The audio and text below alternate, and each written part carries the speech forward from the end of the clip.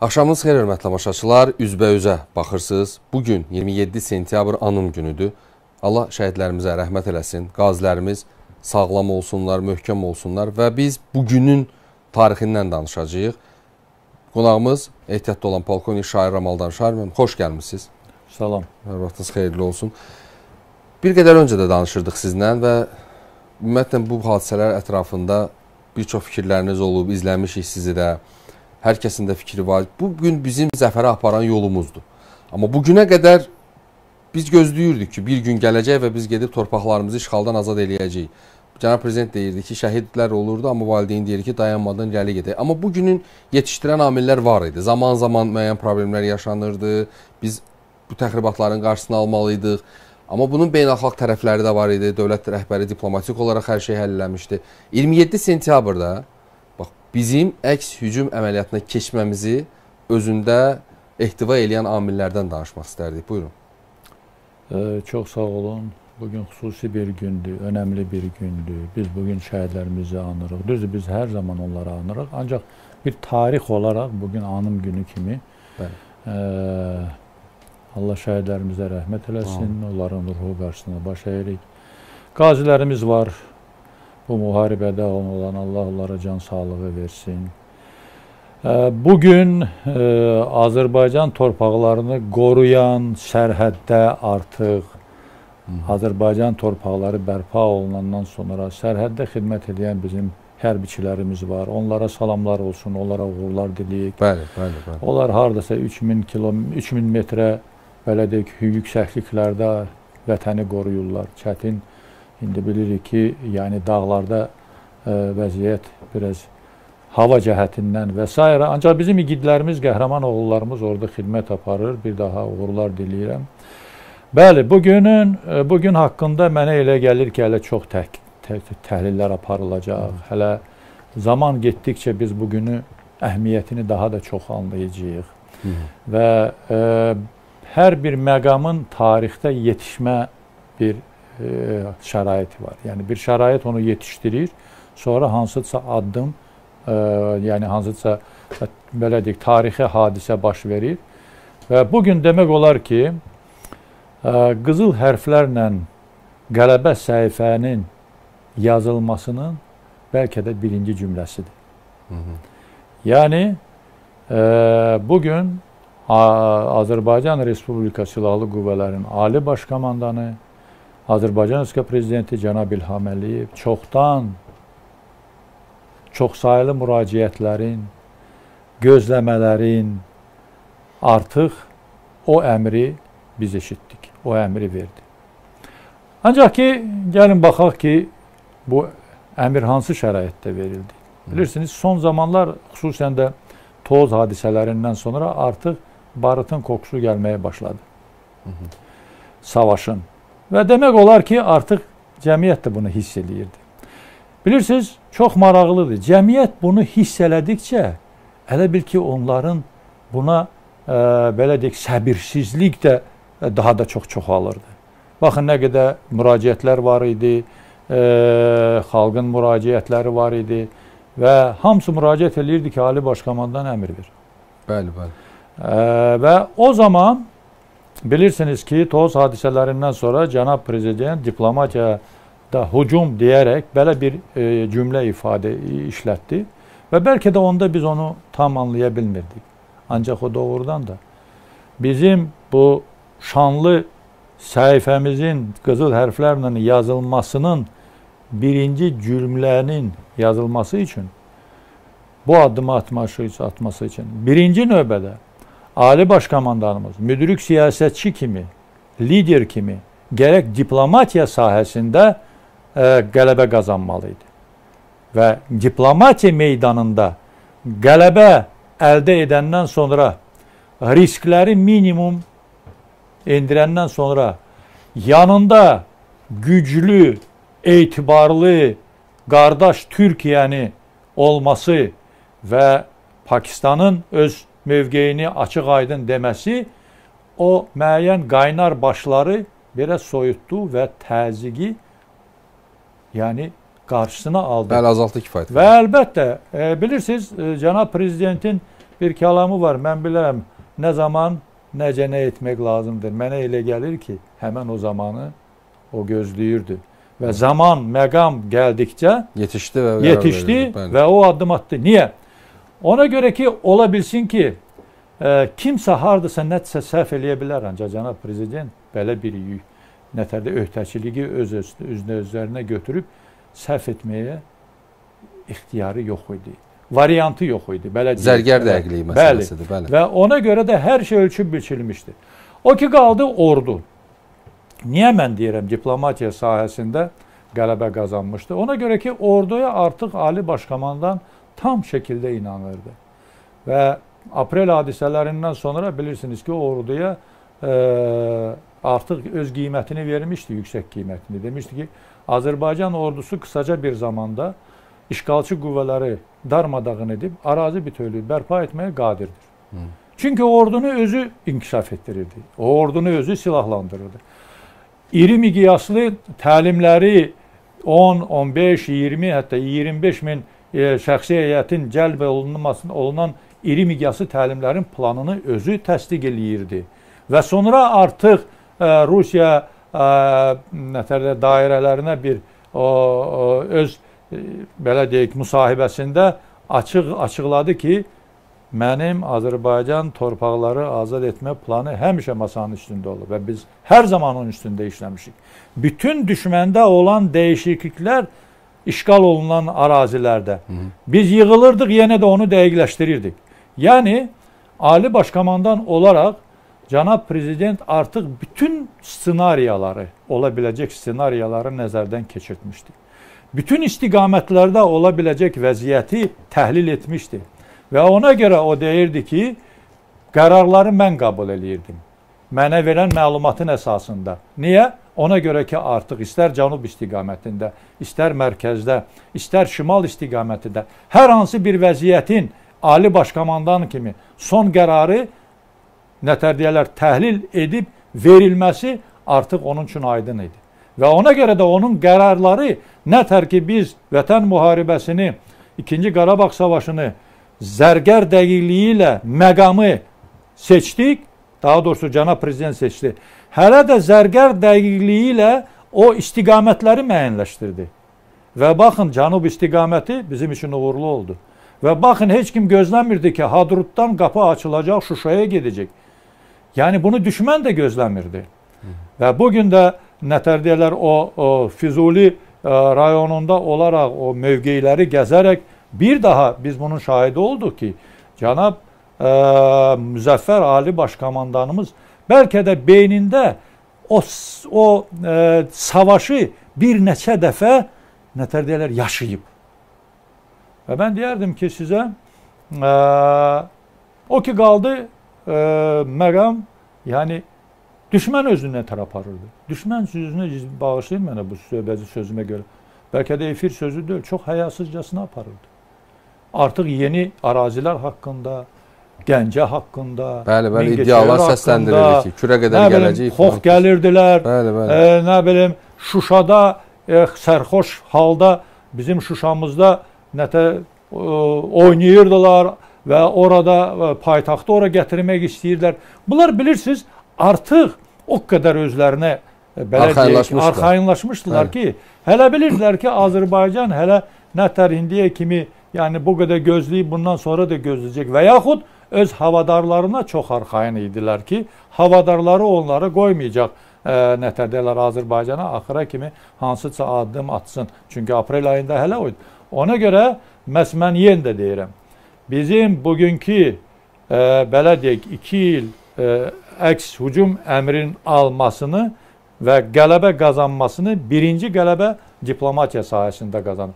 Və ondan sonra artıq ordu, xalq birliyi, cəmiyyət hamısı bir yumruq kimi birləşərək öz sözünü döyüş meydanında dedi və apreldə dediyi kimi qısaca bir zamanda düşmənin darmadağın etdi, işğalçı qüvvələr darmadağın etdi və ərazi bütövlüyünü bərpa etməyə qadir oldu. Doğru. Və çox e, gözəl məqamlardan biri nə idi? Biz hər dəfə prezidentdən çıxıb qələbə xəbəri eşidirdik. Biz eşitmədik bir dəfədə ki, bizim ordu geri çəkildi və yaxud da hansısa bir geriləməmiz oldu. Düşmənin gözləmədiyi dediyimiz kimi də istiqamətlərində yalnız işğaldan azad etmək, irəli getmək, irəli getmək. Bunun özü də o dediyimiz kimi zamanında qurulan doğru, düzgün taktiki məsələlərin həyata keçirilməsi idi həm də. Əlbəttə bilirsiniz ki, dəfələrlə bu haqqda söhbət gedirdi ki, hətta cənab prezident e, dedi ki, demişdi ki, e, işğal olunmuş ərazilərdə bütün hədəflər Azərbaycan ordusunun nazarəti altındadır. Hı -hı. Yəni baxın, savaş belə deyək, gedirdi tutaq ki, Füzuli rayonunun ətrafında ancaq hədəflər hətta Xan kəndində məhv edilirdi. Yəni e, bu onu göstərir ki, doğrudan da Azərbaycan ordusu ə, müasir silahlarla silahlanaraq və nəinki müasir silahlarla silahlandı və intellektual potensiala malik olan kadrları cəlb elədi. Onları hazırladı. O silahları idarə etmə edən mütəxəssisləri hazırladı və artıq demək olar ki, o doğrudan da bütün arazi e, işğal altında olan e, döyüşlər gedən bütün hədəflər artıq Azərbaycan ordusunun nəzarəti altında olaraq harada hansısa təhlükə yaranırdısa, orada e, Azərbaycan ordusu o hədəfi məhv eləyirdi. Dərhal. E, və mən deyərdim ki, bilirsiniz, biri var ki, savaşasan, müəyyən bir şəkildə həmişə gözün nədədirsə olsun. Ancaq Türkiyənin bizim yanımızda olmaq və mənəvi dəstək olmaq bizi çox arxayın saldı. Biz öz gücümüzə onu inanırdıq. Biz sadəcə hansıdırsa böyük belə deyək bir təsirin buna mane olacağını düşünürdük. Bəli. Xaricdən olan qüvvələrin və ermənilərin hiləgərlərinin də hiləgərliyini də bilirik. Ancaq yanımızda daim Türkiyə kimi qardaş ölkənin olması və hər demək olar ki, gün cənab prezident ə, hansısa məlumat verirdi və yaxud nə edirdi? Türkiyə həmişə dəstəkləyərək deyirdi, biz Azərbaycanın yanındayıq. Mənəvi siyasi dəstək həmişə hə, oldu, bəli. Yəni mənəvi yox, hətta digər hərəkətdə də yanımda oldu. Ancaq ehtiyac olmadı. Azərbaycan ordusu öz sözünü deyən ordusudur, ordudur və mən dediyim, siz dediyiniz kimi çox yaxşı, biz o təlimlərdə hər kəs artıq öz işini bilirdi.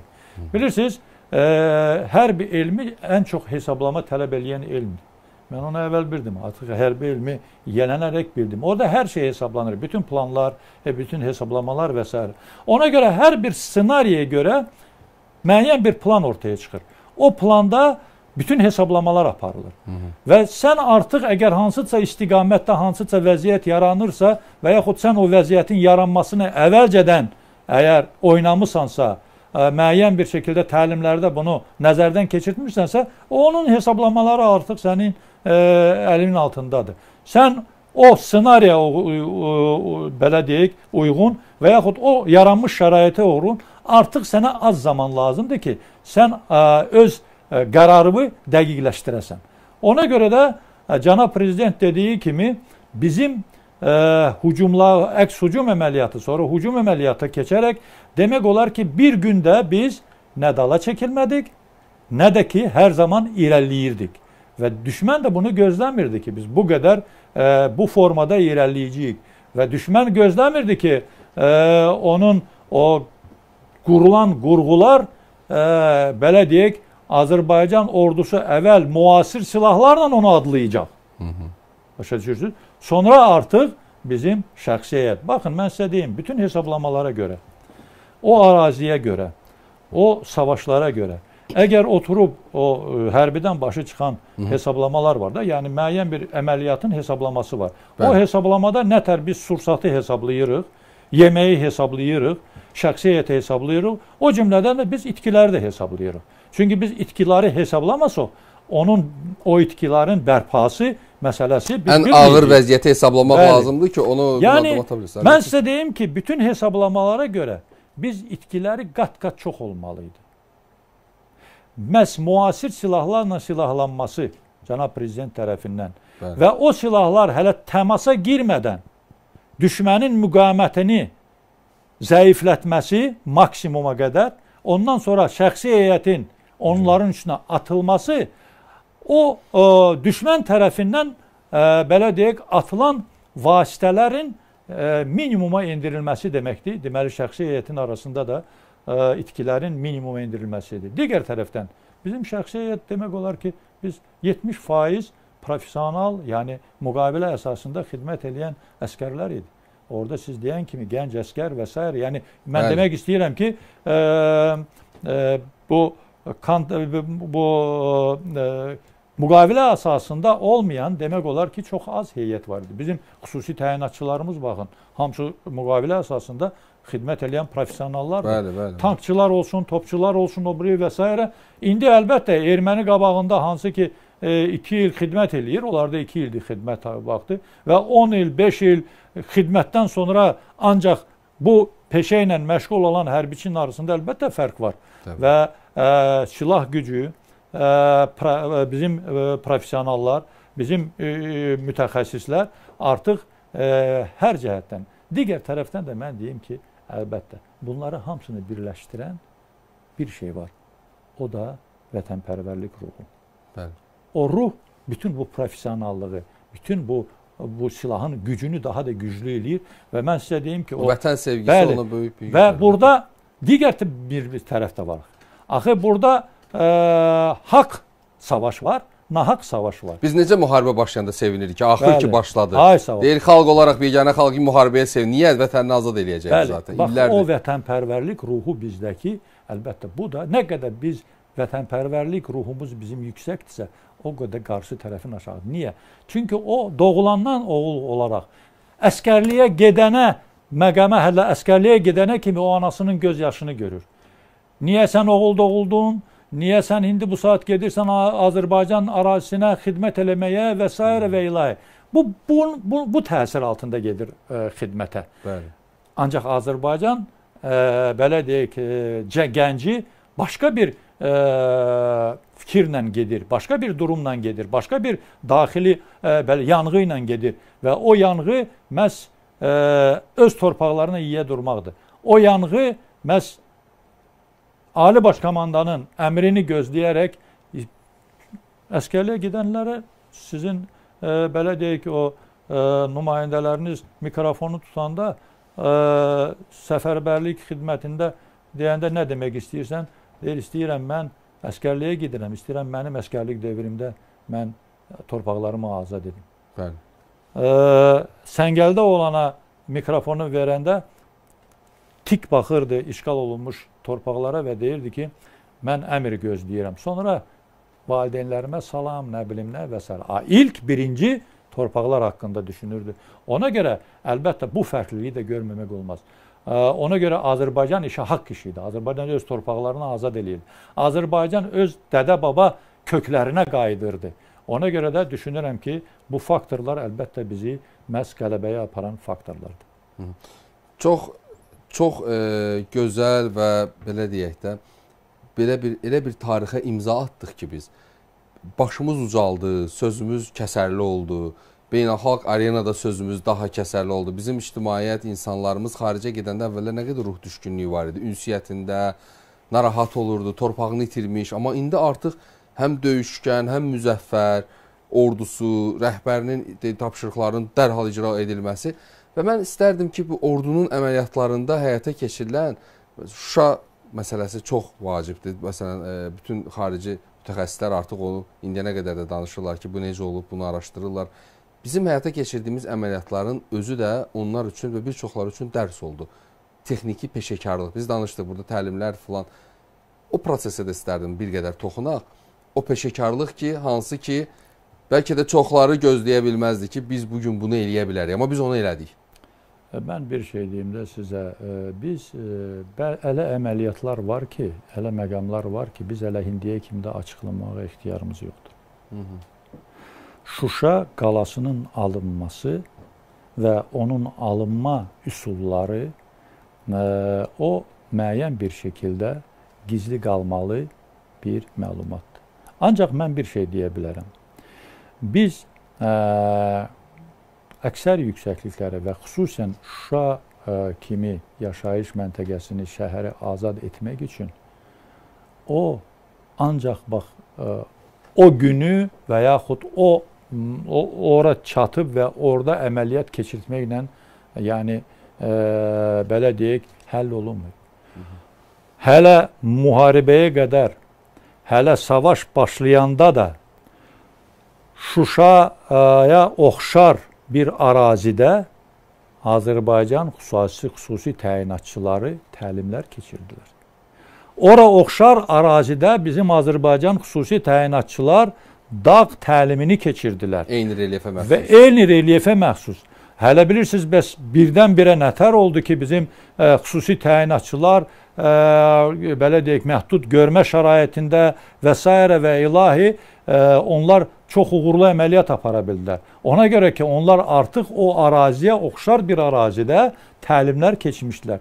Artıq dağ hazırlığı ə, belə deyək keçmişdilər. Ə, Azərbaycana hətta ə, belə deyək alpinistlər burada iştirak eləyirdi onların ə, dağ təlimlərində və əlbəttə Şuşa planı əməliyyata iştirak eləyənlərin masanın üstündə olub. Və o masanın üstündə Şuşanın maketi o maketin üstündə hər bir qrupun istiqaməti, hər bir qrupun hədəfi, hər bir qrupun qarşılaya qarşılaşa biləcək düşməni. Çünki biz həmişə kəşfiyyat aparırıq. Bizim e, pualar və s.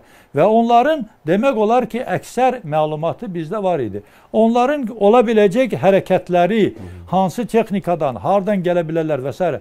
Yəni bunlar olmasa çox çətin olur. Mümkün təhlükələrə qarşı bəli, bütün planlar. Siz bilirsiniz ki, ə, Şuşa əməliyyatını aparanda biz heç bir arığır silahdan istifadə eləyə bilmədik. Bəli. Biz e, pilotsuz uçaq aparatlardan yetərli qədər istifadə eləyə bilmədik. Bəli. Niyə?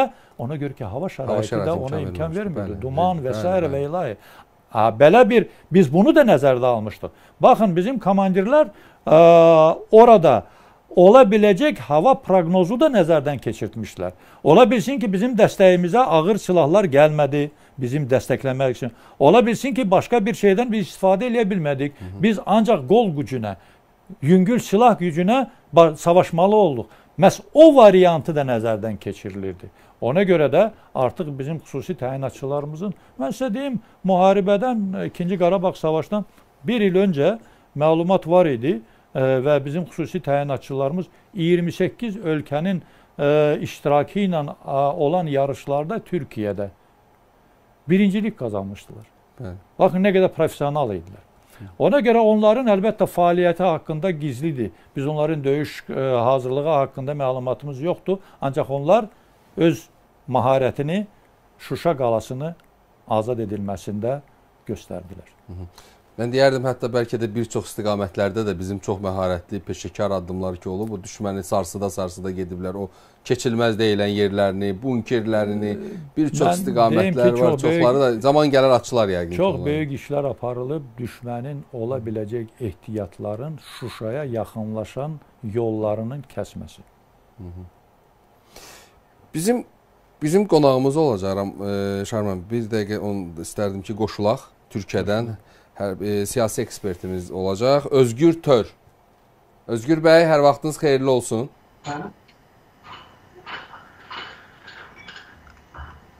Özgür bəy, hər vaxtınız xeyirli olsun. Mən sizi eşidirəm. Merhabalar. Siz... Merhabalar. Merhabalar efendim. Çok teşekkürler. E, sizə həm də qonağımızı təqdim etmək istəyirəm. Polkovnik Şair Ramaldanov və Özgür bəy də hərbi ekspertdir. Çok memnun oldum. Hepinize selamlar, saygılar. Bütün Öz... Azərbaycandakı kardeşlerime de selamlar, saygılarımı arzuyorum. Biz təşəkkür eləyirik sizə. Biz də sizi salamlayırıq və bilirsiniz bu gün bizdə Azərbaycanda anım günüdür. Həm də Azərbaycanın zəfərə, qələbəyə gedən gününün başlanğıcı sayılır. Həm də bu cür qəbul edilir. Qürurlu bir günümüzdür. Həm də şəhidlərimiz olub. Allah şəhidlərimizə qəni-qəni rəhmət eləsin. Cəmi şəhidlərimizə. Və biz e, hərbi gücümüzdən danışırıq. Biz e, bizim e, ekspertimiz də danışdı o zamanın yetirilən məhz niyə bu gün gəldi və biz o addımı atdıq.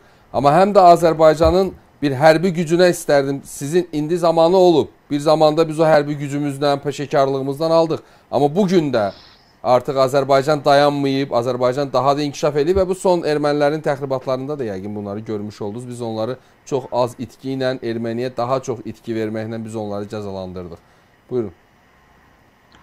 Evet çok teşekkür ediyorum. Şimdi öncelikle şunu ifade edeyim. Tabii ki Azerbaycan'ın e, bu zaferi bizim zaferimiz.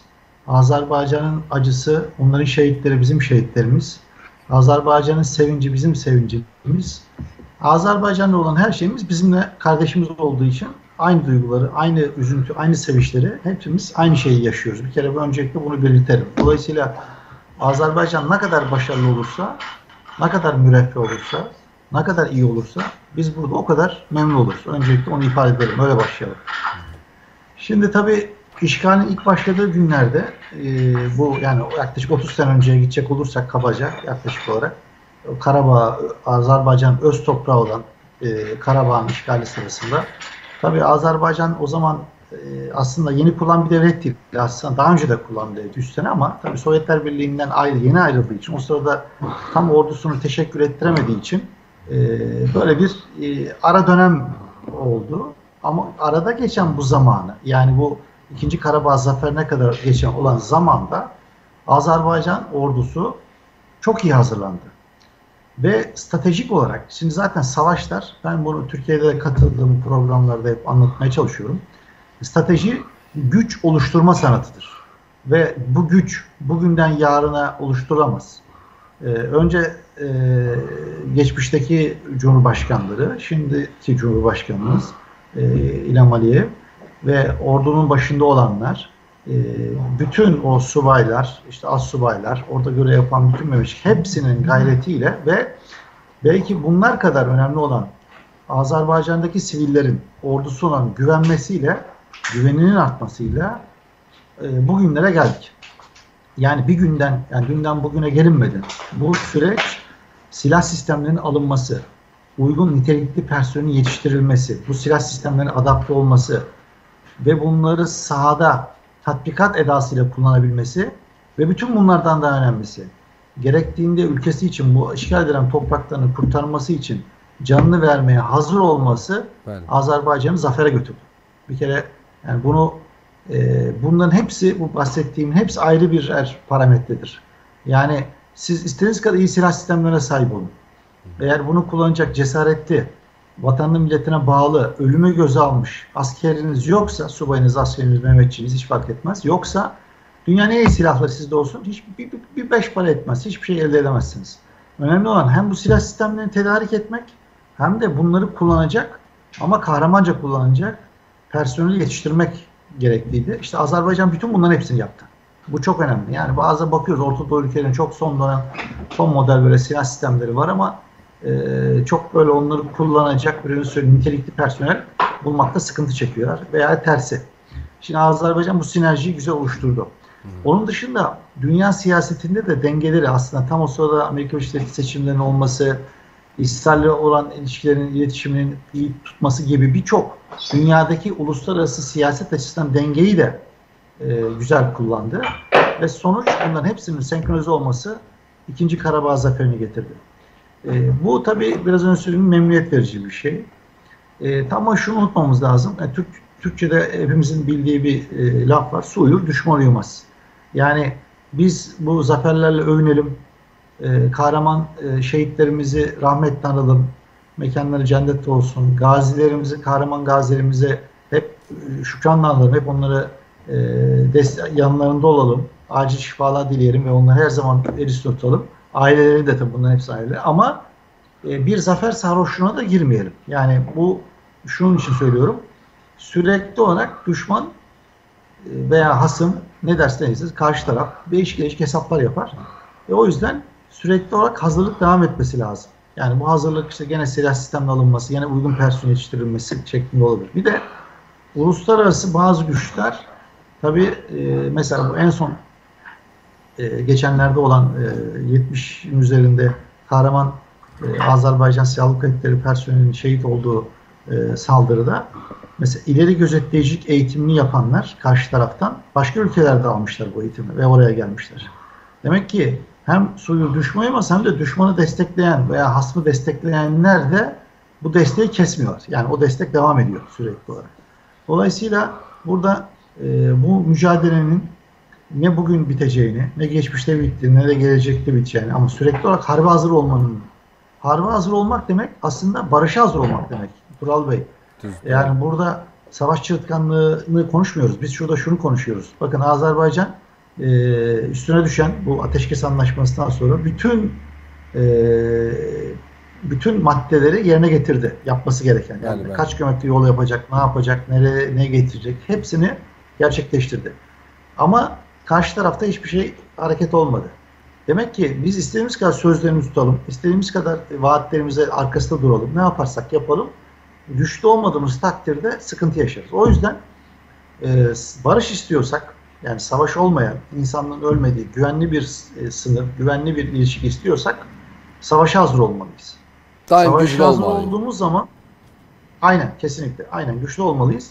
E, şu an güçlüyüz zaten. Yani Azerbaycan şu anda silahlı Her zaman güclü dünyada- olmaq lazım. Sabah da, ondan illərdə də bu qeyd etdiyimiz kimi, yəni o olmalıdır, Aynen, vacibdir, aynen. bəli. Çünki xain düşmənlə nə etmək olar? Bu cür qonşu ilə üz-üzəyik yəni. Aynen. Aynen Tural Bey. Ben şunu da söyleyeyim. Eğer yani sözü benden alacaksınız vereyim.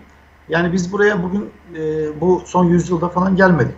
Biz bu coğrafyada on binlerce yıldan beri varız. Türk milleti olarak hem Anadolu'da hem işte Azerbaycan, Hazar'ın güneyinde, kuzeyinde, doğusunda, batısında, Balkanlarda.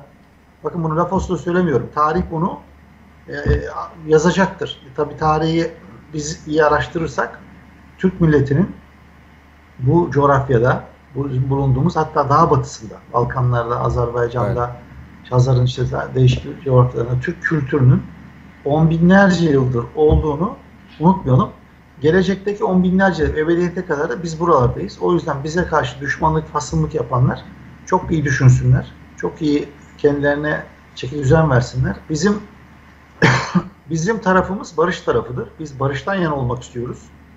Ama gerektiğinde de ülkemizi, bayrağımızı savunacak imkan ve kabiliyetine ve sahibiz. Bunu dost da bilsin, düşmanımız da bilsin. Özgür bəy, sizə geri dönəcəm. Biz sizi saxlayarıq xəttə. Mən e, qonağımıza bir sualım olacaq. Şarməm, e, bu gün cənab prezidentin bir bəyanatı oldu, çıxışı oldu. Bizim rayonda bilirsiniz getmişdi, səfər etmişdi və qeyd elədi ki, Ermənistana bir mesajı oldu. Yəni bir daha bu cür revanşist arzulara əl atacaqlarsa bu onlar üçün daha ağır olacaq və bu ağırlığın yükünü nə qədər görürsüz maştab olaraq? Mən ümumiyyətlə deyim ki, cənab prezident dəfələrlə hələ bu 2-ci Qarabağ savaş başlanmayanda da ermənilərə çoxlu müraciətləri olub, mesajları olub, məsləhətləri olub və bütün bu məsləhətlər Ermənistanı, erməni cəmiyyətini faciədən qurtaran yolları göstərib onlara. Ancaq ki, Ermənistan heç vaxtı müstəqil olmayıb. Orada kim gəlirsə gəlsin rəhbərliyə, həmişə müəyyən bir qüvvələrin Cənubi Qafqazda gərginlik saxlamaq istəyən maraqlı qüvvələrin əlində sadəcə bir alət olub və onların sifarişləri yerinə yetirir.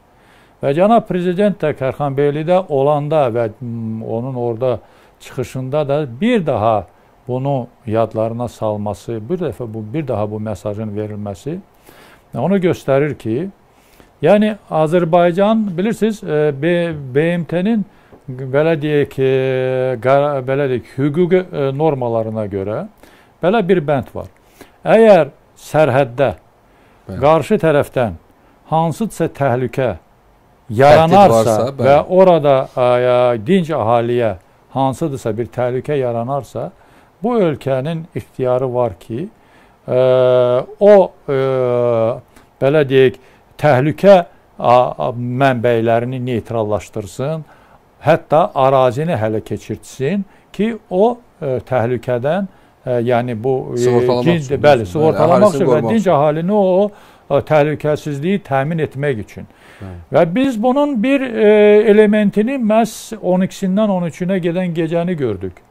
Hətta çox belə e, bizim mövqelərimiz dəyişməklə bağlı, ortaca orada strateji yüksəklikləri ələ keçirtməklə bağlı, Bəli. Daha geniş arazini nəzarət alınması, altına alınması ilə bağlı biz artıq bu addımı atmaqla bir daha öz yumruğumuzun gücünü göstərdik. Bəli. İndi bu saat bilirsiniz, e, belə bir e, mən bir belə bir paralel apardım. Məsələn, nə dəyişdi və nə qaldı? Savaşa qədər 2-ci Qarabağ, hı. və savaşdan sonra dəyişən bilirsiniz nə oldu? Dəyişən ancaq Azərbaycan mövqeyləri oldu. Bəli. Yəni Azərbaycan mövqeyləri bu gün Azərbaycan ərazisindən yox, məhz sərhəddə gedir. Və Azərbaycanın ərazi bütövlüyü oldu. Qalan nə düşmənin bizə olan münasibəti, nə sülh belə deyək, ə, sülh müqavilənin olmaması, nə sərhədlərin tanımaması, nə indiyə qədər də revanşist ideyalarla hələ o da müəyyən bir düşmənçilik ə, belə deyək, hansıdırsa təxribatlara aparan bir e, ideyalar idi. Yəni heç nə dəyişməyib düşmən tərəfindən. Yenə də silahlanırlar. Bəli. Yenə də havadarları nəticə onlara vəd verir. Hətta bu yaxınlarda ABŞ-dan gələn nümayəndələr də və s. və ilahi. Hətta bizim qonşumuz olan İran da müəyyən bir fikirlər söyləməyə başlayır. Yəni bunlar onu göstərir ki, ə, belə deyək, heç nə dəyişməyib. Sadəcə Azərbaycanın yumruğu onların başını əzib. Sadəcə Azərbaycan ordusu öz gücünü göstərib. Və mən sizə deyim ki, belə bir deyim var da, prinsip var. Əgər sülh istəyirsənsə müharibəyə hazır ol. Bəli. Və Azərbaycan hər zaman müharibəyə hazır olmalıdır ki, onda sülh, sülhü əldə eləyə bilsin. Çünki güclü güclü ilə heç vaxtı e, belə deyək müharibə eləmək e, e, iştahında olmayacaq. Eləsə də yumruğun cavabını alacaq. Ona görə də cənab prezident məhz vətən müharibəsindən dərhal sonra büdcədə dəyişikliklər olundu, müəyyən kontraktlar bağlandı və yeni nəsil müasir silahların yenə də Azərbaycana gətirilib və Azərbaycan ordusunu güclü elədi. Biz hələ müharibəyə qədər, savaşa qədər, 2-ci Qarabağ savaşa qədər Azərbaycan ordusu 50 ən güclü ordular sırasında idi. Bəli. İndi də bu saat biz artıq hələ daha da güclü olmuşuq. Niyə daha da güclü olmuşuq? Ona görə ki, Azərbaycan ordusu artıq müharibə təcrübəsi bu yaxınlarda keçmiş kadr potensiala malikdir. Nə qədər təlim keçirsən keç.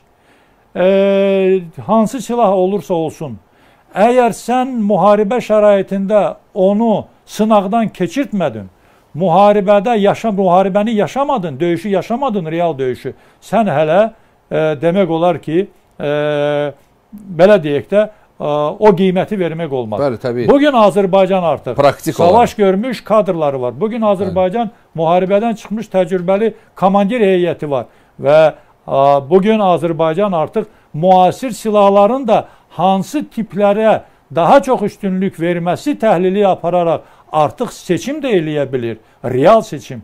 Ona görə də mən düşünürəm ki, Azərbaycan ordusu bundan sonra da güclənəcək və cənab prezident də Müzəffər Ali Başkomandanımız cənab İlham Əliyevin də məhz bu mesajı da bir daha özün çox yaxşı bir xoşuma gəlir o söz. Ağlını başına yığsınlar deyərək bir daha onlara müraciət eləyir.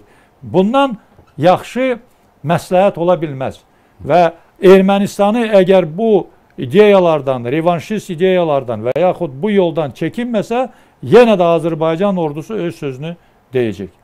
Təşəkkür edirəm sizə Şər müəllim. Çox sağ olun gəldiyinizə görə. Biz e, qoşulmaq istərdim yenidən Türkiyədən olan qonağımıza. Özgür bəy, e, biz qonağımızla sağollaşırıq. Şair müəllim gedəcək, Ramaldanov sizlə davam eləyəcəyik.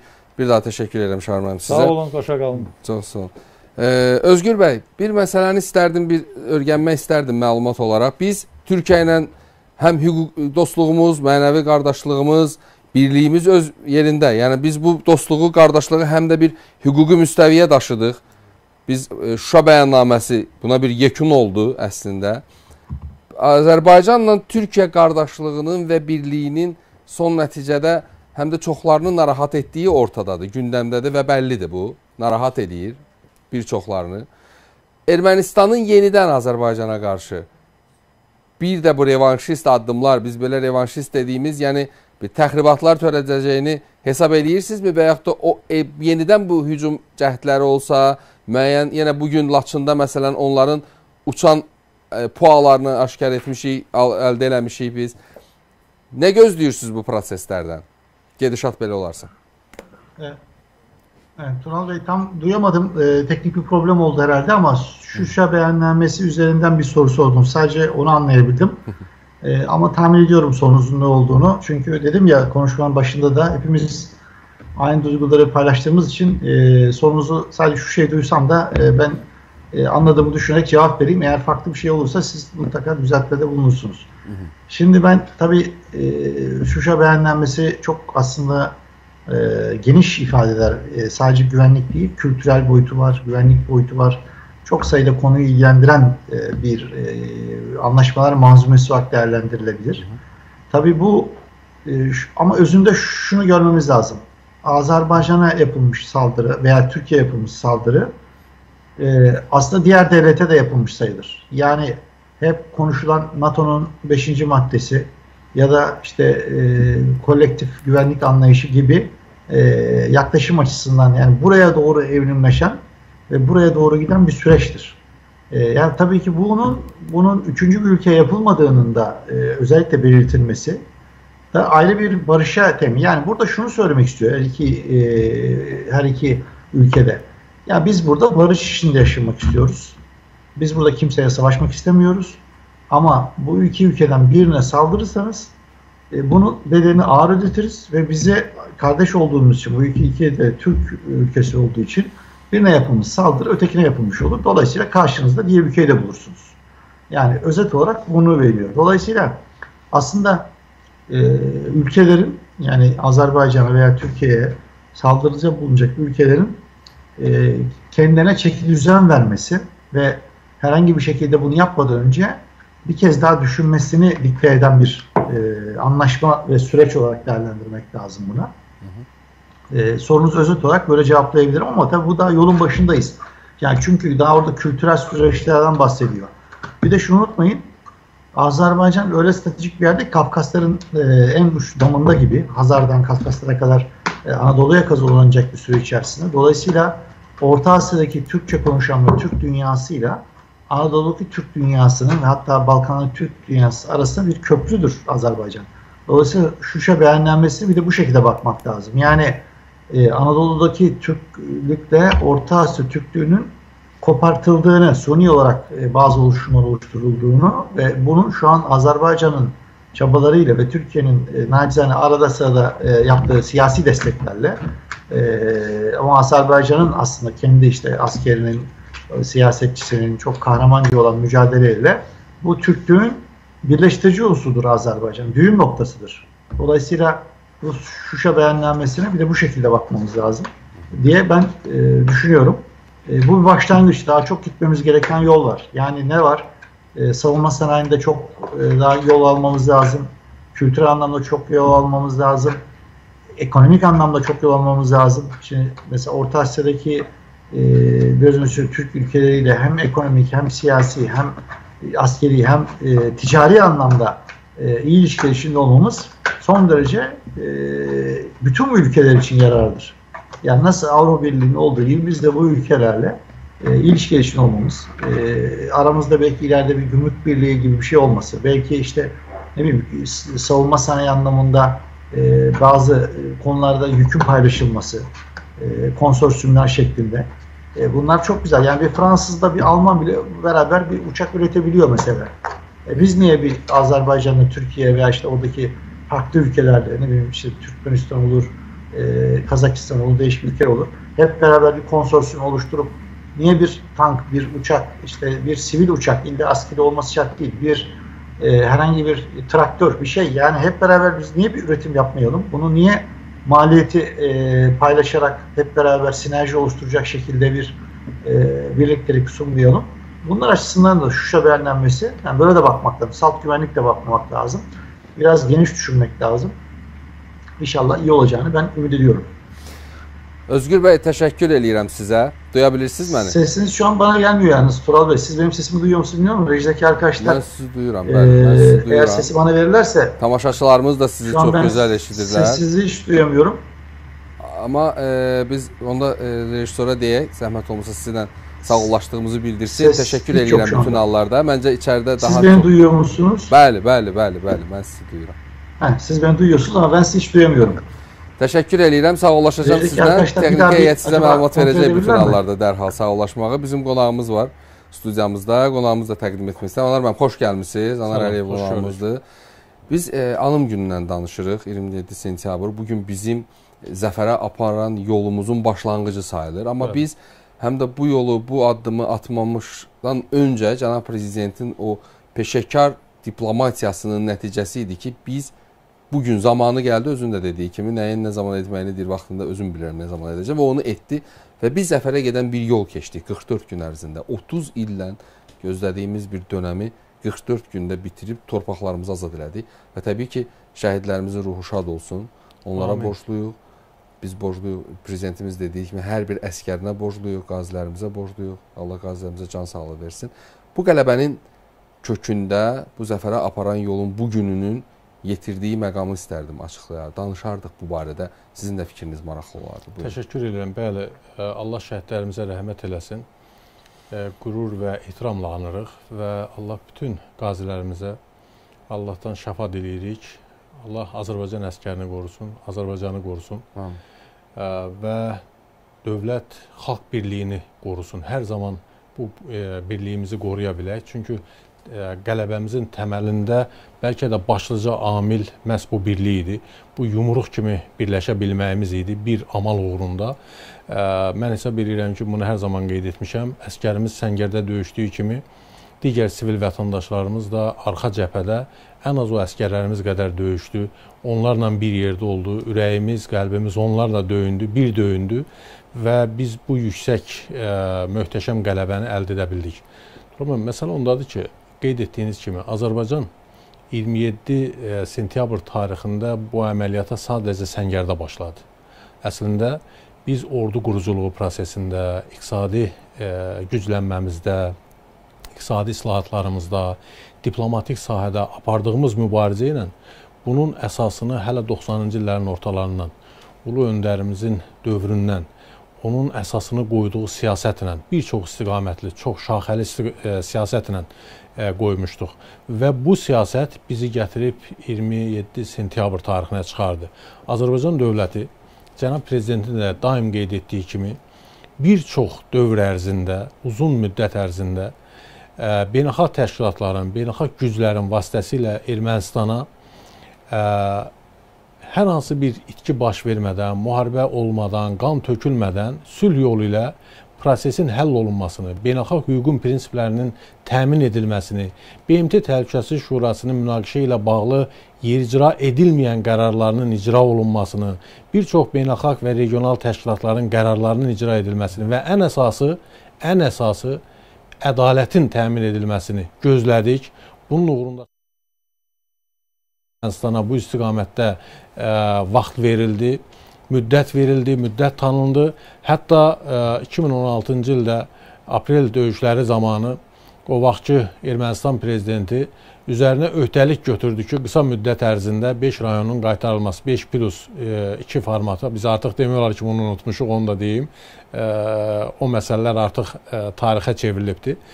Bu format üzərindən Azərbaycanla növbəti dava ə, e, proseslərin danışıqlar mərhələsinin həyata keçirilməsinə başlanmışdı. Bu öhdəlik götürülmüşdü, amma sonradan gördük ki, Ermənistan bu dəfə də yenə də yalan danışaraq, növbəti öz xislətinə, öz xarakterinə sadiq qalaraq sadəcə əməliyyatların dayandırılması üçün vaxt qazanmağa çalışırmış Bəli. və Azərbaycan ə, e, Ermənistanda keçirilən 2018-ci il ə, e, parlament seçkiləri və baş nazir seçkilərindən sonra yeni hökumətin qurulmasından sonra yeni hökumətin və baş nazirin xahişini nəzərə alaraq müəyyən bir müddət tanıdı ki, bəli, bu müddət ərzində növbəti komanda proseslərə daha real yanaşacağını göstərən, Cənubi Qafqazda sülh proseslərinə sadiq qaldığını nümayiş elətdirən, mehriban qonşuluq siyasətini özünün əsas ə, xarici siyasət prioriteti elan edən bu komandaya vaxt verilsin və Paşinyan və onun komandası üzərinə götürdüyü öhdəlikləri yerinə yetirsin. Amma biz nəyi gördük? Biz gördük ki, Valday diskussiya klubunda çıxış edərək avantürist Azərbaycanın humanist davranışlarını Azərbaycanın zəifliyi kimi, Azərbaycanın Ermənistana güzəşlərini Ermənistanın gücü qarşısında geri çəkilməsi kimi başa düşən Paşinyan Valda Diskussiya klubunda Qarabağ Ermənistandır və nöqtə ifadəsini işlətdi və bununla da bir mənalı şəkildə artıq e, diplomatik fəaliyyətə son qoymuş oldu. Danışıqlar prosesini artıq bloklamış oldu. Bundan sonra nə biz nəyə müzakirə edə bilərdik? Demək, Azərbaycan dövlətinin hələ 90-cı illərdən başlayaraq ordu quruculuğu istiqamətində, eyni zamanda cənab prezidentin dəfələrlə bəyan etdiyi kimi müxtəlif platformalardan e, diplomatik yollarla, danışıq yolları ilə torpaqlarımız geri qayıtmayacaqsa, işğal faktı aradan qalxmayacaqsa, biz bir qarış torpağımızı da heç kimə verməyəcəyik və bununla barışmayacağıq.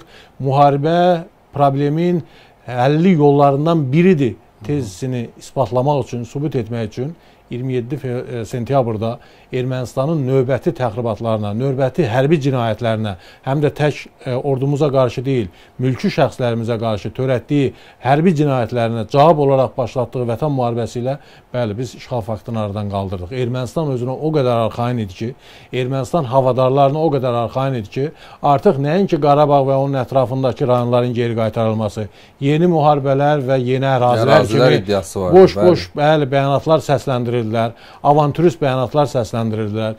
Ə, bizim müqəddəs hesab etdiyimiz Şuşada içkili vəziyyətdə hansı oyunları çıxardırdılar. Məscidlərimizdə donuz saxlayırdılar. Bəli, çox. bəli, o qondarma qurumun qondarma parlamentinin Şuşaya köçürülməsi ilə bağlı Azərbaycan xalqına təhqiramiz davranışlar nümayiş elətdirirlər və özlərini o qədər arxain hesab edirdilər. Bəli, Azərbaycan isə Azərbaycan isə qısa bir müddət ərzində mən deyim ki, sizə bəlkə də dünya hərb tarixində çox nadir hallarda rastlanan bu qədər böyük müdafiə sədlərini, illərlə formalaşdırılmış müdafiə sədlərini yararaq qısa müddət ərzində Azərbaycan işğal faktını aradan qaldırdı. Azərbaycan heç bir halda ə, işğalı ə, aradan götürmək mümkün olmayacaq, Şuşanı yenidən əldə etmək mümkün olmayacaq fikrini daşıyan erməni və onun havadarlarının ə, fikirlərinə, arzularına, istəklərinə əks olaraq Azərbaycan əskəri o qayanı dırmaşaraq, o dağı dırmaşaraq hamımız bilirik, getdik, gördük artıq. Getməyənlər, əvvəldən də getməyənlər də gördü ki, Azərbaycan əskəri hansı şücaəti göstərərək Şuşa kimi müqəddəs bir ocağımızı geri qaytardı və Azərbaycanın ərazi bütövlüyü təmin edildi. Bəli. Azərbaycanın dövlət suverenliyi təmin edildi. Bundan sonra baş verən bütün proseslər 10 noyabr bəyanatından sonra baş verən proseslər Hı -hı. mahiyyətində Azərbaycan dövlətinin, Azərbaycan xalqının və onun liderinin siyasətinin mahiyyətini özündə əks etdirir. Biz hətta Roman bilirsiniz mən tarixçiyəm. Tarixdə qalib tərəf məğlub tərəfə sülh təklif etmir. Bu çox nadir hallarda rast gəlinə bilən hallardan, hadisələrdən biridir. Azərbaycan qalib olduğu halda kapitulyasiya sənədini imza atmış Ermənistana sülh əlini uzatdı. Və bu Azərbaycan xalqının, Azərbaycan dövlətinin, prezidentimizin siyasətinin mahiyyətini üzə çıxardı. Biz sülhpərvər millətik. Biz sülhpərvər dövlətik və bizim həyata keçirdiyimiz siyasətin mahiyyətində sülhpərvərlik dayanır, barış dayanır, bölgəmizdə birgə yaşayış dayanır, ləyaqətli həyat dayanır. Ə, hətta düşmənimiz olsa belə onları alçaltmamaq prinsipi dayanır. Hətta biz xatırlayırıq 10 noyabr 9-undan 10-una keçən gecə Azərbaycan prezidenti və Rusiya prezidenti canlı yayımda 10 noyabr bəyanatı imzalayarkən Azərbaycan prezidenti orada da dedi ki, mən istəsəydim Bəli, hansısa o gizləndiyi qaranlıq küncdə belə Paşinyan onu canlı yayımda imzalaya, imzalaya bilərdi. Biz onu alçalda bilərdik, amma onu istəmədik. Onu belə etmədik. Həmin anda belə Azərbaycan prezidenti o addım atmadı. Və bu günə qədər də həyata keçirdiyimiz siyasətin mahiyyətinə o dayanır. Cənubi Qafqazı sülh bölgəsinə çevirmək, Cənubi Qafqazı iqtisadi inkişaf bölgəsinə çevirmək Bəli. və e, Cənubi Qafqaz xalqlarının birgə yaşadığı bir ailəyə çevirmək. Azərbaycan dövlətinin siyasətinin mahiyyəti budur. Çox təəssüf ki, erməni cəmiyyəti, erməni siyasi, hərbi siyasi elitası və erməni cinayətkar hərbiçiləri onu da qeyd edeyim, revanşist qüvvələr Qriqoryan kilsəsi və onların həyata keçirdiyi o ideoloji xətt, Daşnaqüstün partiyası terror təşkilatları hələ də Azərbaycanın nə istədiyini və Azərbaycanın istədiyinə adekvat cavab verməzsə, Ermənistanın bundan sonra da nələr yaşayacağını deyəsən tam dərk edə bilmirlər. Amma ya bunu dərk etməlidirlər, ya da mən bunu bir dəfə də bəyan etdim. 12-sindən 14-ünə e, sentyabr tarixlərində Ermənistanın törətdiyi təxribata cavab olaraq Azərbaycan ordusunun həyata keçirdiyi qısa müddətli əməliyyat nəticəsində Ermənistanda, İrəvanda nələr yaşandı, İrəvan qəbristanlıqlarında nələr yaşandı, həmin günləri Ermənistan, Ermənistan cəmiyyəti üçün Azərbaycan ordusu, Azərbaycan dövləti gündəlik həyat tərzinə çevirə biləcək gücdədir, iradədədir və əgər Azərbaycanın ortaya qoyduğu iradənin əksinə gedəcəklərsə, məhz o taleyi yaşayacaqlar. Fasiləsiz olaraq. Bəli, bəli, tamamilə düzdür. İlk e, qeyd elədiniz, vurğuladınız. Bütün bu məsələlərin kökündə həqiqətən də o ruh, milli ruh, prezidentə bağlılıq, dövlətə bağlılıq, insanlarımızın o torp biz müharibəni başlayanda sevinib bayaq bir, qədər də öncə qonaqla danışanda qeyd edirəm. Biz sevinən xalq olduq ki, nəhayət biz gedirik torpaqlarımızı azad eləməyə.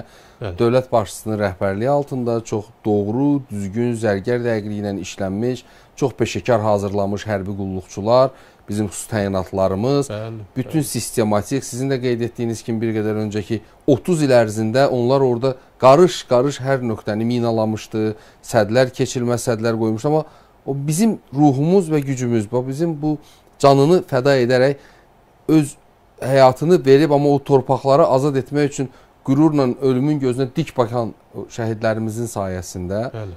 biz bütün torpaqlarımızı azad elədik. Burada ruh məsələsi çox vacib məqamdır. Əlbəttə. Bilirsiniz Turan müəllim, məsələ ondadır ki, 44 e, günlük müharibə dövründə qısa bir müddət ərzində Ermənistan ordusunda 10 mindən artıq fərari oldu. Nəyə görə? Çünki əvvəla Azərbaycan ordusunun, Azərbaycan əskərinin, Azərbaycan oğlunun qarşısında dayana bilməyəcəyini Bəli. başa düşürdü. İkincisi onlar gözəl bilirdilər ki, onlar döyüşdükləri torpaq onların deyil. Bəli.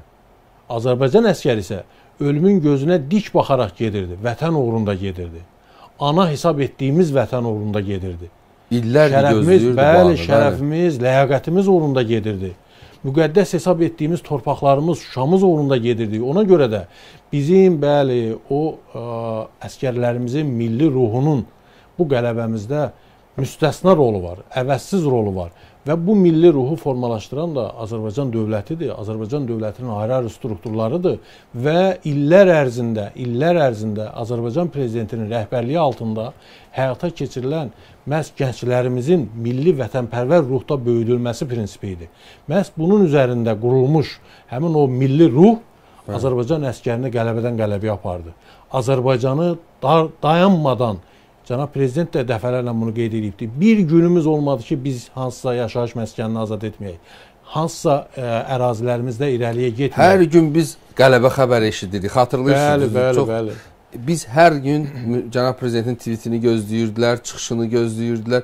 İnsanlar o artıq qələbəyə öyrəşmişdik də. Yəni bilirsiniz biz bir an orduda döyüşdə zaman-zaman olub bilirik, dövlətlərdə də olub geri çəkilməsi olur, getməsi. Biz daim irəli getdik. Bəli. bəli. Biz daim irəli getdik bəli. və bu Turan bu məsələlər Azərbaycan dövlətinin işğal faktını aradan qaldırmaq üçün işğal altında olan torpaqlarımızın azadlığı uğrunda nə qədər düşünülmüş, nə qədər ardıcıl, zərgər dəqiqliyi ilə hər bir prosesin tək səngər döyüşlərini demirəm mən. Bəli, bəli, səngər bəli. döyüşləri gedən günlərdə diplomatiyamızın apardığı mübarizə, Azərbaycan prezidentinin 30-dan artıq xarici kütləvi informasiya vasitəsinə verdiyi müsahibə, hər bir müsahibədə nə qədər dəqiqliklə Azərbaycan dövlətinin sabaha olan e, baxışlarını, gələcəyə olan baxışlarının ifadəsini nə qədər dəqiqliklə ifadə etdiyini biz gördük.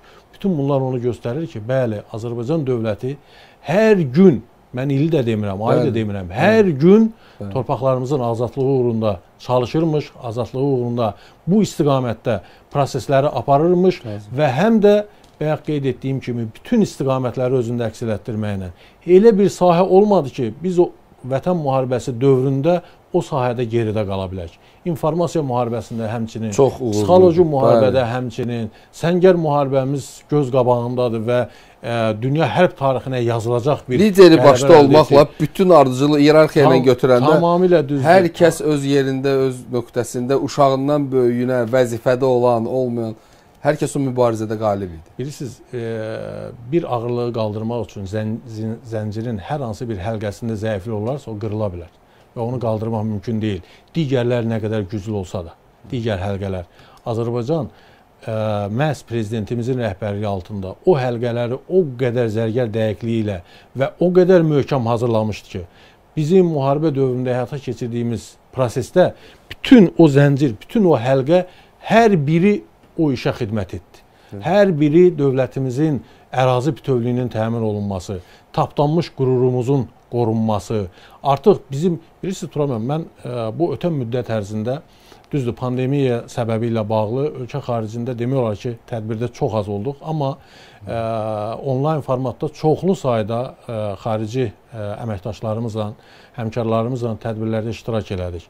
Və onların bizə münasibətinin 2 il bundan öncəki münasibətindən nə qədər fərq etdiyini edər, və bizə onların yanaşmasını, bizim özümüzü, mən şəxsən özümü deyirəm, özümü o tədbirlərdə özümün nə qədər arxayın, nə qədər güclü, başuca, dik, bəli, başuca, dik apardığımızı, eyni zamanda bilirsiniz, mən bunu bir dəfə də demişəm, artıq 21-ci əsrdə dövlət böyüklüyü ərazisi ilə ölçülmür, əhalisinin sayı ilə ölçülmür həmin bu birliyi ilə ölçülür, iqtisadi gücü ilə ölçülür. Bəli. Sahib olduğu o iqtisadi e, informasiya texnologiyalarının iqtisadiyyata tətbiqi ilə ölçülür və Azərbaycan dövləti 44 günlük müharibədə hər bir sahədə nə qədər böyük dövlət olduğunu, nə qədər güclü dövlət olduğunu göstərdi.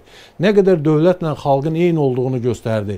Dövlətin hər bir addımının, prezidentimizin hər bir çıxışının məhz hər bir vətəndaşın ürəyindən, qəlbindən keçən fikirləri ifadəçisi olduğunu göstərdi və bu Azərbaycan dövlətinin gücü idi. Bu gün biz e, bir neçə şəhid ailəsi ilə danışırdıq, görüşlər oldu, çəkilişlərimiz oldu və şəhid anasının birinin bir müsahibəsi var idi. Çox həssas məqam idi o da. Biz ruha görə gəlirəm, vətən sevgisinə görə. Deyir mən heç vaxt gözləməzdim ki, övladım mən ona getmə deyəndə yox deyər mənə. Evində bir övladı olub. Və deyir mən başa dərk elədim ki, deyir mən anası olsam da vətən onun üçün məndən öncə imiş deyir. Onu halal elədim deyir, yəni vətən sağ olsun. Yəni övlad ana üçün çox ağırdır bu məqamları yaşamaq, amma Əlbəttə, bəli. analar belə cənab prezident də vurğuladı ki, övladlarını şəhid verəndə deyirdilər ki, cənab prezident vətən sağ olsun, amma irəli gedək. Amma qisasımızı alaq və biz də onu elədik. Və bir, bir məqam var ki, çox e, bu zaman keçdi. Bəlkə düşmənlə zaten biz daim ayıq olmalıyıq. Biz daim güclü olmalıyıq. Bəli. Çünki onlar heç zaman bundan barışmayacaqlar. İndi qismətimizdir, bilmirəm, taleyimizə yazılıb ki, bu cür xain düşmənlə qonşu olmaq məcburiyyətindəyik zamanla keçəcəkdə. Bizim e, müharibədən sonraki dövrdə də cənab prezident onlara xatırlatdı, dəfələrlə mesaj verdi ki, e, bir qədər öncə də biz qeyd etdik ki, ağlınızı başınıza yığın, düzgün olun. Bu gün də Füzulidə e, son bir mesaj deyərdim Bəli. onlara verildi Bəli. və məncə onlar bu mesajdan dərs götürmək məcburiyyətindədirlər. Bir neçə hadisələrdə məlumatımız var, bilirik. Biz yenə şəhid verdik, amma az itki verməklə yenə biz o atəş nöqtələrini susturduq və daha böyük yüksəkliklər əldə elədik. Qoturdaq ərazisində bizim yüksəkdə bu dəqiqə bizim hərbiçilərimiz oturub. İrəvan Gorus yolu bizim nəzarətimizdədir. Bəli, Digər bir neçə nöqtələrdə bizim güclüyük. Yəni amma bundan sonra mən bilirəm, aydındır. Yəni siz də bunu gözəl bilirsiniz ki, Ermənistanın bu vəziyyətə gəlib düşməsinin səbəbkarları var. Diaspor təşkilatları da hansı ki, onların əlindən çıxır sülh müqaviləsi olandan sonra əslində erməni xalqının bədbaxtlığına işləyən addımları bütün bu proseslər. Yenidən bunlardan bu revanşist addımları gözləmək Yəqin ki, ola bilər. Ehtimal var. Nəticəsini necə görürsüz? Bilirsiniz, bəli, tamamilə düz qeyd etdiniz. Təəssüf ki, bizim erməni kimi bir riyakar, ikiyüzlü, hətta çox üzlü deyək, ikiyüzlü də deyil. Hı. Çox üzlü bir qonşumuz Etibarsız, var. Çox, bəli. Etibarsız, bəli və ə, təəssüf ki, biz bu faktı dəyişə bilmirik. Ona Hı. görə də ə, biz ehtiyatımızı heç zaman əldən verməməliyik. Ə, Ermənistan tərəfindən ə, təxribat addımlarını hər zaman gözləməliyik və mən hesab edirəm ki, o Ermənistanın havadarlarının sifarişi əsasında Ermənistan tərəfindən növbəti təxribatlar baş verə bilər də. Xüsusən nəzərə alsaq ki, 31 avqust tarixində çox möhtəşəm bir görüş və praktik nəticələr doğura bilən ə, görüş keçirildikdən sonra ilk dəfə Ermənistanın üzərinə götürdüyü öhdəliklərin yerinə yetirilməsi ilə bağlı vaxt məhdudiyyəti qoyulan bir görüşdən sonra məhz havadarlarının təhriki ilə mən başda Amerikanı qeyd etmək istəyirəm. Nəyə görə bu, onu da qeyd edəcəm. Ə, havadarlarının təhriki ilə 12-dən 13-ünə keçən gecə Ermənistanın törətdiyi təxribat onu göstərdi ki, Ermənistan üzərinə götürdüyü öhdəlikləri yerinə yetirmək istəmir. Əksinə, mümkün qədər prosesləri uzatmaqla, bu görüşdən o görüşə, bu formatdan o biri formata qaçmaqla vaxt uzatmağa çalışır ki, bəlkə nə vaxtsa elə bir tarixi şərait formalaşa bilər ki, Ermənistan yenidən o ə, e, xülyalarını reallaşdırmaq Hı -hı. ə, 90-cı illərdəki Azərbaycanda mövcud vəziyyətdən, özbaşınalıqdan, anarxiyadan, Azərbaycanın zəif olmağından, havadarlarının açıq şəkildə verdiyi dəstəkdən istifadə edərək ə, o işğal etdiyi torpaqları yerindən geri qaytara bilər. Ona görə Ermənistan bunu uzatmağa çalışır havadarlarının dəstəyi ilə. Mən nəyə görə Amerika dedim, onu da qeyd edeyim. Buyurun. 12-dən 13-ünə keçən gecə, hələ gecə ikən, yəni Azərbaycanda artıq 13-ü tezdən açılarkən, ilk məlumatlar səslənərkən Ermə e, Amerikada gecə idi. Amma e, e, Amerikanın dövlət katibi Anthony Blinken sərsəm bir bəyanat səsləndirir ki, Azərbaycan Ermənistan arasında əməliyyat keçirir. Azərbaycan Ermənistan arasında mülki obyektləri vurur, mülki şəxsləri vurur. Hansı faktlar əsasında bir fakt belə səsləndirilmir. Nəinki həmin bəyanatda artıq keçən demək olar ki 10 gündən artıq 15 günə yaxın müddət ərzində də bir fakt səsləndirilmədi. 44 günü 44 günlük vətən müharibəsində Azərbaycanı bir çox əsassız ittihamlar səsləndirdikləri kimi heç bir faktsız, burada da heç bir fakt səsləndirmədən belə bir bəyanat səsləndirildi. Bunun ardınca Nümayəndələr Palatasının spikeri Ermənistana səfər etdi Hı. və orada çox mənasız, əsassız Hı. bəyanatlar səsləndirdi. Uğursuz da bir səfər görüşlər oldu. və bəli, səfərlər idi. Tamamilə düzdür. Çox belə. Və çox təəssüf ki, 22-sində Ermənistana Amerikanın dövlət başçısının, prezidentinin ünvanladığı məktubda da yenə Cənubi Qafqazdakı mövcud reallıqların ruhuna tamamilə ziddiyyət Zidd təşkil edən, yəni bəli, uyğun da olan demirəm mən. Bəli, bəli, bəli. Uyğun olmayan da demirəm, ziddiyyət təşkil edən. Bəli əldə olunmuş o kövrək sülhün sütunlarını dağıda biləcək, Hı -hı. yenidən münaqişə alovlandıra biləcək və ya Ermənistanda, erməni cəmiyyətində xam xəyallar, yenidən yanlış təsəvvürlər formalaşdırmağa xidmət edən məqsədli bir bəyanat səsləndirildi. Dağlıq Qarabağ xalqı kimi bir fikir işlədildi. Münaqişənin hərb yolu yoxmuş kimi bir mənasız fikir işlədildi. Yox idisə bəs Azərbaycan hərb yolu ilə niyə həll edə bildi? Bəli. Varmı münaqişə? Varmı? Niyə Ermənistanla Azərbaycan arasındakı məsələdən biz danışırıq? Niyə Ermənistanla Azərbaycan arasındakı sərhədlərin delimitasiyasından danışırıq? Sülh müqaviləsindən danışırıq? Bundan sonra kimsə Qarabağla bağlı hansısa bir iddia ortaya qoya bilərmi? Ümumiyyətlə qoyacağı o iddia avanturadan başqa hər hansı bir reallığa uyğun ola bilərmi? Verir. Yəni bu mənada bu bəyanatlar da göstərdi ki, bəli, kənar qüvvələr kifayət qədərdir ki, Ermənistanla Azərbaycan arasında münasibətlərin tənzimlənməsini heç də maraqlı deyillər. Əksinə, onlar çalışırlar ki, regionda ən azı, bəli. ən azı aktiv müharibə vəziyyətinə keçməsə belə, bəli, bəli. Ə, xırda lokal səviyyəli toqquşmalar olmaqla daim münaqişə vəziyyəti formalaşdırılsın ki, bəli. bunun təsiri ilə Cənubi Qafqazda öz maraqlarını həyata, keçirə bilsinlər. Çox təəssüf, təəssüf ki, ki erməni cəmiyyəti hələ də dərk eləmir ki, o dövlətlərin heç biri üçün Ermənistan xalqı və Ermənistan dövləti maraqlı deyil. Maraqlı deyil, ümumiyyətlə maraqlı deyil. Maraqlı olsaydı Ermənistanla bağlı bu günə qədər bəyanat səviyyəsindən kənara çıxa biləcək bir real addım atardı da. Bəli. Maraqlı olsaydılar bu günə qədər erməni sevdası ilə güya dırnaq arasında mən bəli, qeyd eləmək istəyirəm, tamaşaçılar da bilsinlər. Erməni sevdası ilə yaşayan Fransa Ermənistan iqtisadiyyatına investisiya yatırardı da. 2019-2020-ci illərdə pandemiya dövrünü qoyuram qırağa ə, ki, bunda azalmalar ola bilərdi. 2019-cu ildə cəmi 80 milyon investisiyası var. Bu bu nə sevdadır? Bu nə sevgidir? Heç Deməli, o bir yana öz erməni diaspor nümayəndələri belə heç öz xalqına Təbii ki, əksinə tam ə, e, bu müharibə dövründə də bütün investisiyaların hamısını çıxartdılar Bəli. buradan. O dəqiqə pullarını götürdülər, getdilər. Ermənistanı Bəli. fikirləşirdilərsə əgər. Bəli. Yəni bunu artıq erməni cəmiyyəti dərk eləməlidir. Ermənin ə, e, cəmiyyətinin o ağıllı kəsimi dərk etməlidir ki, artıq alət olmaq 21-ci əsrdə getdi o dövr. Məhvə getdi. Bəli, əlbəttə. E, bunu ə, bu günləri, dünənləri daha doğrusu Tir Petrosyan ictimai kanala müsahibəsində Mən onu ümumiyyətlə ağıllı adam hesab edirəm. Onun o zamanında da dəfələrcə 90-cı illərdə də bəli, bəli bəyan edirdi ki, bəli, bəli. biz nə qədər ki imkandır Azərbaycanla razılaşmalara gedib, güzəştlərə gedib mümkün qədər daha çox şeylər nail ə, olma nail nail, nail ola bilərik. Olmalıyıq. Bəli, bəli. bəli. Əksinə sonradan Azərbaycan güclənərək bu gün bizim razı olmadığımız bir çoxları xahiş bir çox şeyləri xahiş etsək belə bizə verməyəcəkdi. Görürsüz 20 il keçdi və onlar hamısı doğruldu. Bu gün həmin sözləri təkrar deyir ki, bizim Azərbaycan və Türkiyə ilə sülh müqaviləsi bağlamaqdan başqa variantımız yoxdur. Başqa heç bir yolumuz yoxdur. Bir dövlət yoxdur. olaraq məhvə gedirik. Bəli, bəli, onu qeyd edəcəm ki, bu razılaşmalar imzalanmasa bəli. Artıq biz bir neçə müddətdən sonra Ermənistan dövlətinin olmadığını görəcəyik. Bəli. Bəli, tamamilə haqlıdır. Tamamilə haqlıdır. Ermənistan dövləti artıq dövlət atributlarının bir çoxunu itiribdir. Dövlət Bir çoxunu itiribdir artıq. Bəli. Bir çox məsələlərdə artıq Ermənistan müstəqil dövlət deyil. Bəli. De- Demək olar ki, dövlət e, əlamətləri mövcud deyil.